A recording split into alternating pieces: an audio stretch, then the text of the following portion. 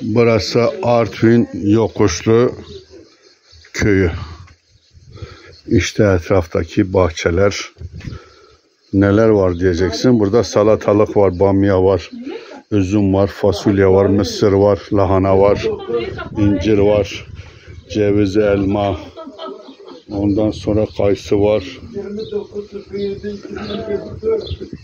Her taraf dağ ama her taraf. Sağı, solu, arkası, önü her yer dağ. Orası hemen hemen 50 metre ilerisi Çoruk Nehri'dir. Şu ilerisi. Şu ilerisi dağın hemen aşağısı. Türkiye'nin en büyük suyu buradan akıyor.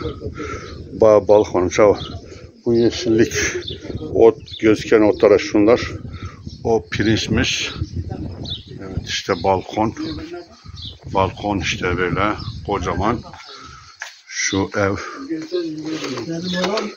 Süper ev. Evet işte mutfak.